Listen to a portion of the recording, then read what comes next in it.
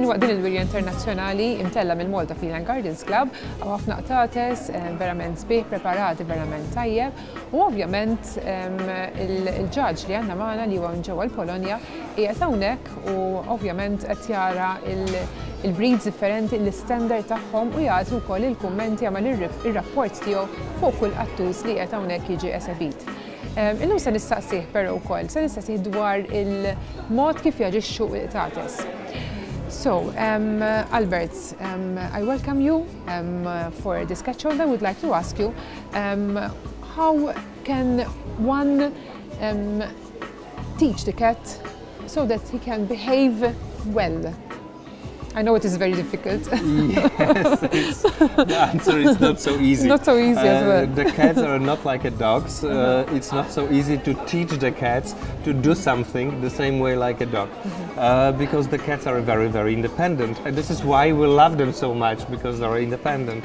But of course it is possible, but um, only in the positive way of teaching. Mm -hmm. So uh, if uh, you have some problem with the cats, it's usually most of the time the problem with us, with the humans, not with the cats. Not with the cats. Uh, this is the problem with the communication mm -hmm. most of the time and understanding each other.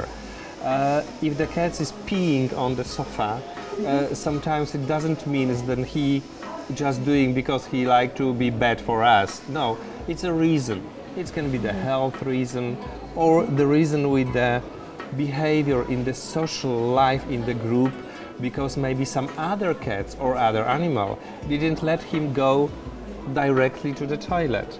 Or maybe sometimes we have too few cat toilets uh, uh, for the numbers of the cats. So uh, usually it's a definition then if you have um, two cats then you should have three cats toilets. So always one more one than extra. the numbers of the cats. I see. Uh, so this mm -hmm. is um, in this case, this is the easiest uh, way to teach them to be clean. But it's a lot of problems about the cats. But usually this is not a problem about the cats, but about the communication and understanding each other. So sometimes we just have to spend several hours to look at the cats and to try to understand them why they are doing this, not that. I see. So um, when one uh, brings a cat into his home.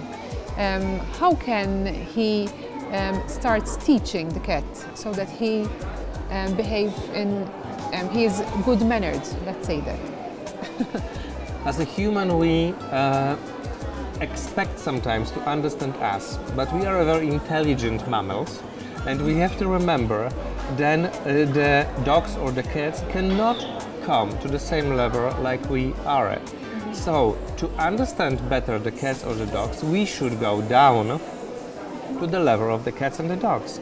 And then we will understand perfectly each other.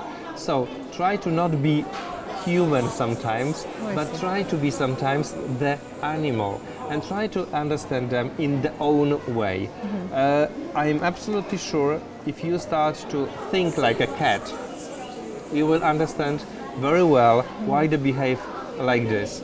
And sometimes this is very easy also to make some research for the urine taste, of the blood taste, if, because sometimes the animals can be just sick and also can do some kind of behavior because they cannot do in the other way.